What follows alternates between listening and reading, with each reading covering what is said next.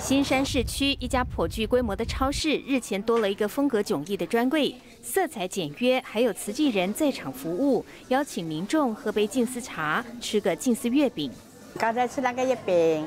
很好吃，很芳香，我介绍朋友来咯。因为我本身也是比较注重健康养生的东西，所以我对这些东西就会比较有兴趣，所以今天抽空来看看一下。咖喱 o r 的 try，这个 from breakfast 啊。啊，对，玩咖喱 o r 从北部吉打州迁居新山好几年的民众，现在不用从故乡采购长途运送。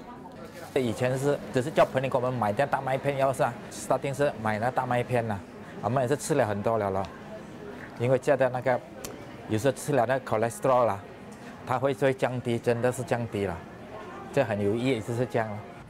无偿提供空间推广，是因为业主曾经到台湾参加实业家生活营，对于静思理念相当感动。人的心全部都有一个爱啊，啊，要付出那个爱，啊，这个精神就让我回来的时候启发到我，就是说我们就是说有了解，就是说要把这个好的东西要怎么样带给大家。以慈悲为初衷，实践环保与急难救助，静思资粮是一个美和善的媒介。食品超市业主希望在新生的超市延伸推广。大爱新闻真善美之工马来西亚报。